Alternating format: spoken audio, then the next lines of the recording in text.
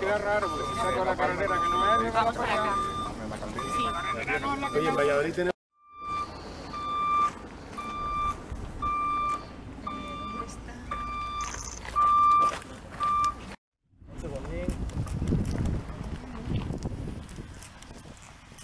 la carretera, pero el, el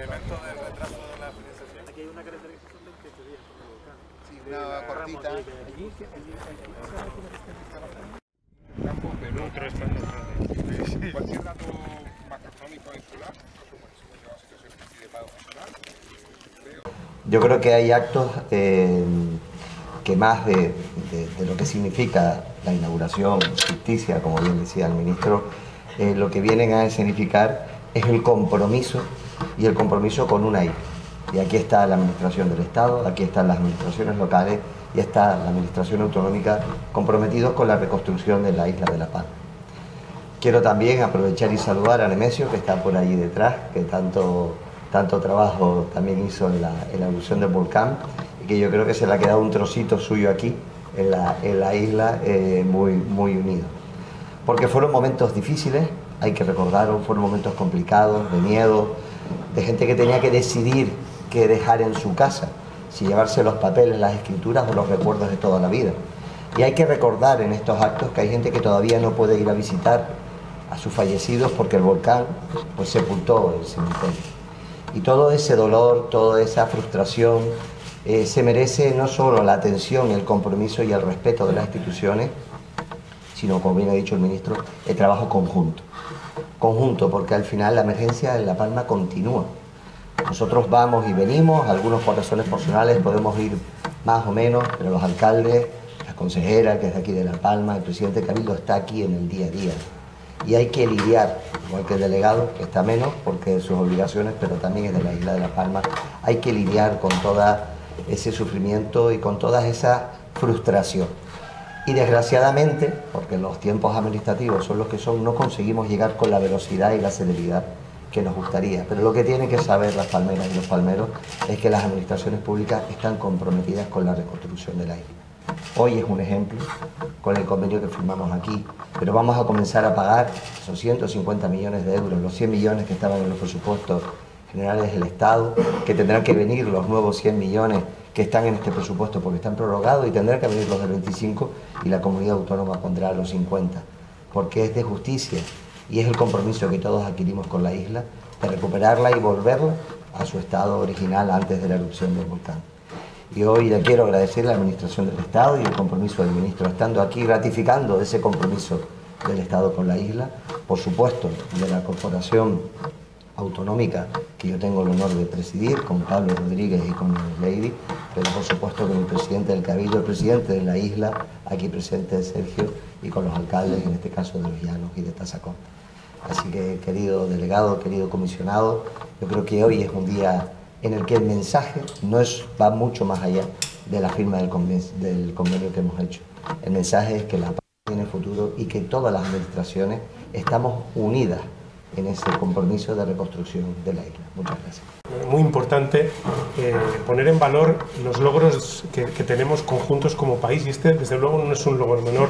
como seguramente eh, podremos analizar.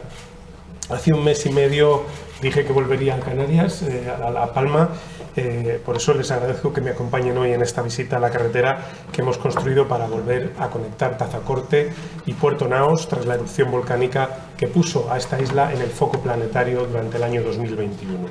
Ha sido un reto sin precedentes, eh, esto es así, tengo que decirlo, hay que subrayarlo,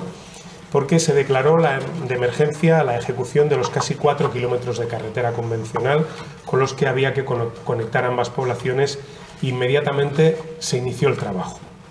La carretera ha sido ejecutada sobre lava aún sin enfriar completamente, ya que las obras comenzaron tan solo tres meses después de que terminase la formación de la colada de lava. Para que entendamos la magnitud del reto al que hubo que enfrentarse,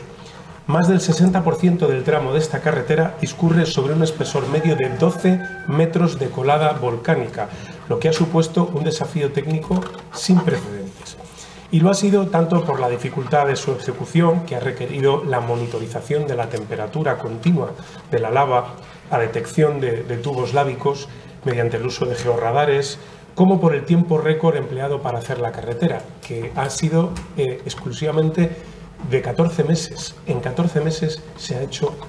una carretera de estas características. Que no hay nadie en el mundo que haya logrado hacer esto. Los americanos lo intentaron en las faldas del volcán Kilauea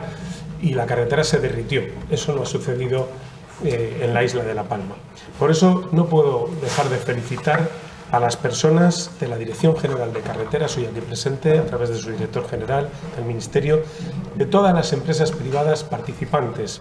En la construcción y aquí también representada o Ramos en el proyecto y Valores en las asistencias técnicas. Ellos y ellas han hecho posible que Tazacorte y Puerto Neos vuelvan a estar conectados, pero también han hecho posible que es que la ingeniería y la obra pública española sienten un precedente que sin duda será estudiado y probablemente tendrá que ser imitado en otras partes del mundo. Para, para ello ya hemos aprobado la segunda información pública de las parcelas afectadas por la colada. La primera fue eh, de las no afectadas y acabamos de firmar el convenio con la Comunidad Autónoma de Canarias para poner a su disposición, esto es lo que acabamos de hacer en este momento, la carretera en cuestión, algo que es así de facto desde su recepción, es decir, estamos ante una inauguración ficticia, pero hoy desde luego ya materialmente al amparo del Real Decreto por el que movilizamos la ayuda a La Palma tras la erupción volcánica, esa entrega de la carretera tiene plena estructura jurídica. Durante la construcción de esta, de esta carretera se han reutilizado los materiales de la erupción, algo verdaderamente importante, todo un reto. Se han movilizado medios y maquinaria necesaria para avanzar al mayor ritmo posible, acabarla cuanto antes aunque para ello hubiera que desplazarlos desde la península, como sucedió con todos los materiales, por ejemplo, para la construcción del viaducto,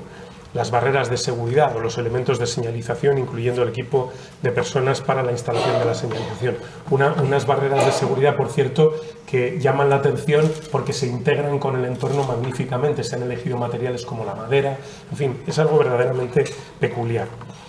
Eh, en definitiva, el ministerio eh, que dirijo va a terminar desembolsando 40 millones para garantizar esta eh, construcción, la continuidad viaria en el, oeste, de la isla de La Palma, 36,5 millones de inversión total, a la que ahora sumaremos unos 4,5 millones aproximadamente de expropiaciones que vamos a realizar y como les comentaba ya estamos en esa fase de la segunda, de segunda información pública. También tenemos pendiente de suscribir con el Gobierno canario la tercera adenda del convenio de carreteras. Acabamos prácticamente de recibir hace dos semanas las previsiones de ejecución por parte del Gobierno canario y estamos en contacto y colaboración para continuar avanzando una vez tengamos las fichas técnicas de las actuaciones. Y en este punto, permítanme